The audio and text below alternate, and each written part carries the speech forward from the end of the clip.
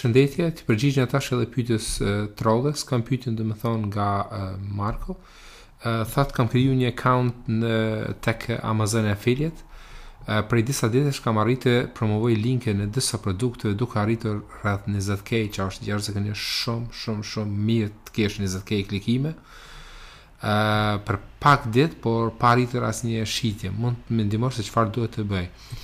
Po, tani, Ehm mos provo vetëm me Amazon Affiliate, po provo edhe me reklama të tjera. Për shkak nëse ke edhe Google AdSense, ia vlen jashtëzakonisht shumë, sepse me 20k të thom të vërtetën mund të arrish nëse ke 20k klikime në website, patjetër që arrin një shumë të konsiderueshme të fitimit parove nga AdSense.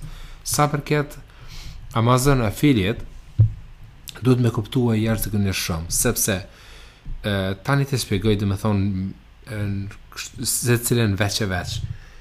Ke produkte, sa ma shumë, sa ma shtrenjtë që është produkti uh, affiliate në Amazon, aq ma shumë ti fiton nga ajo. Por kjo është e problemit që shumë nga personat publikus që reklamojnë produktet Amazon, këtë e kanë një problem me këtë. Sepse, kur ti ke kriju një website, ta zëmë në kategorinë Games. Tani ti në atë kategorinë Games ti duhet me promovue produkte e, sa përket Games. Edhe marr shembull, unë të të shpjegoj domethënë se çfarë po flas. Shembull njërën prej websajteve, ja dhe produktet Amazon krahun e djathtë këtu, e ke Football Manager 2020, domethënë si reklamë, dhe shitet prej nëntëmbëdhjetë pikë e nëntëdhjetë e nëntë në këtë rast marr një përqindje sa herë domethënë shitet ky produkt prej kësaj por problemi qëndron se shumë nga publikust shtojnë reklama që të produkteve që shiten shtrejt.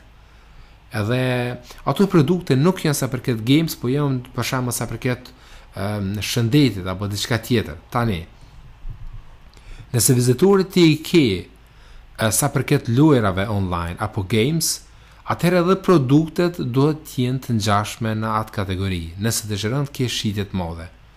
Por, disa u veprojnë ndryshe, disa u veprojnë me, me qëllimin e tyre, duke mendu se do të fitojnë para sa ma shumë, shtojnë produkte që kanë çmime të larta. Sepse, nëse ta zëmë, se ti merr 10% e Amazonit, meqenëse nuk është kështu, por po e flas këtë, këtë, po marr si lloj shembulli.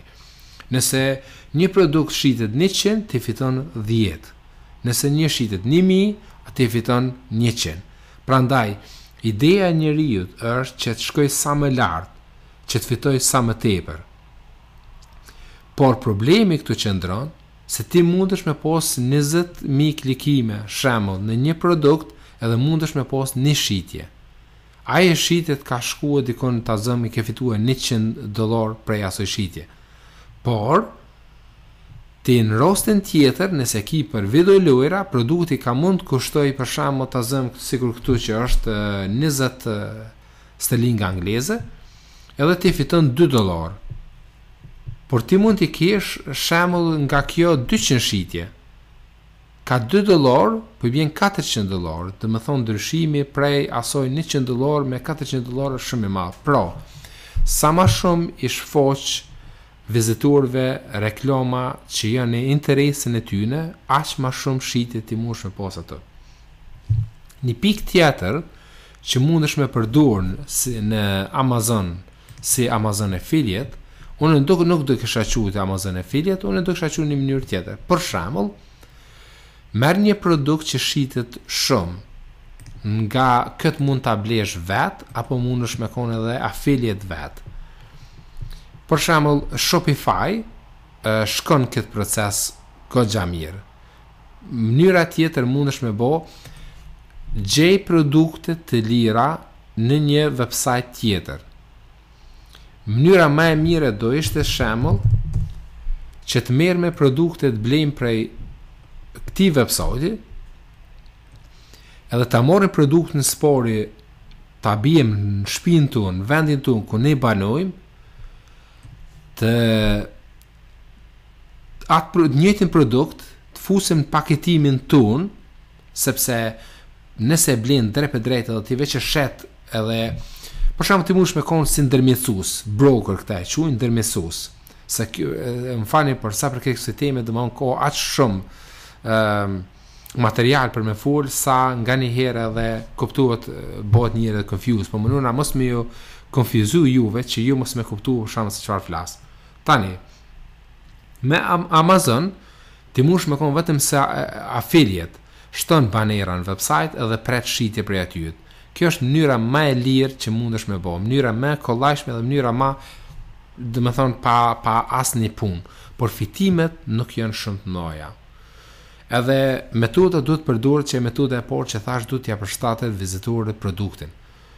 Mënyra e dytë, ma fitimprurëse është nëse ti ke mundësi Me shku në websajte siç është kjo website kinez, alibaba pikë kom, edhe të shitsh produkte, të blesh produkte prej këtyre të lira, një produkt që shitet, edhe që ju përshtotet atyne vizitorëve që ti ke në website, mos harro.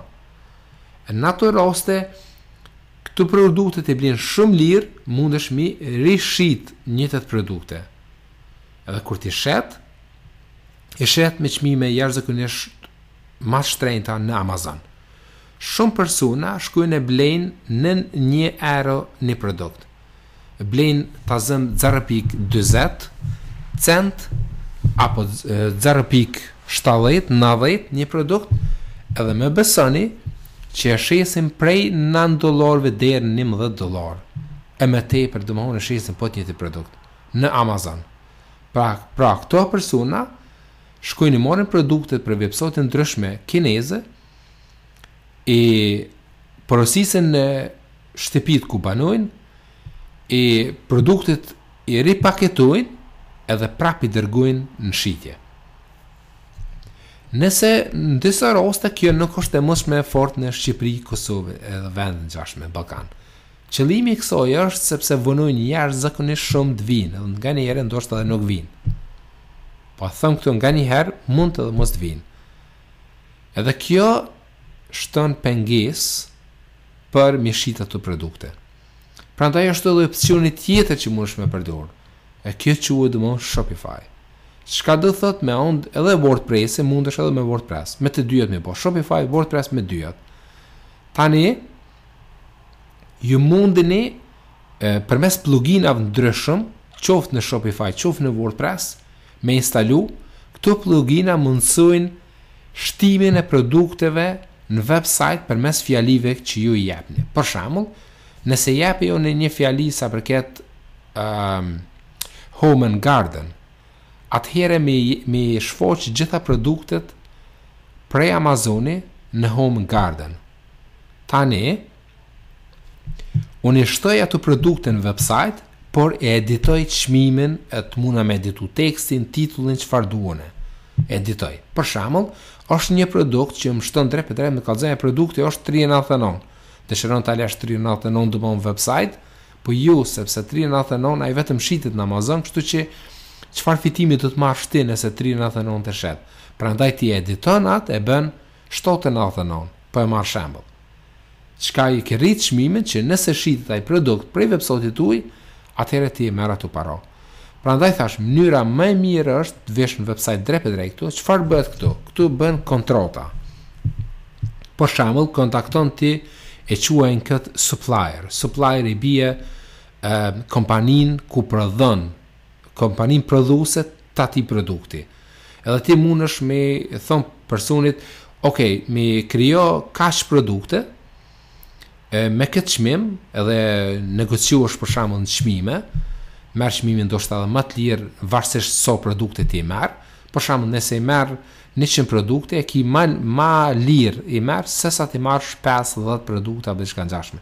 Nëse i merr 1000, produkte prej tyre me i marrë me një çmim edhe më të lirë e kështu me radhë domethonë negocion një çmim pasi që ke negociu një çmim ti mundësh edhe me i dërgue dizajn këtyne që me të paketue produktet edhe ata krejt me t'i përgadit me paketime me gjitha edhe i paketojnë produktet me atë logon me informacionet që ti ki nevoj në ato raste kur t'i dërgojnë ty T'i dërgojnë domethonë të gatshme.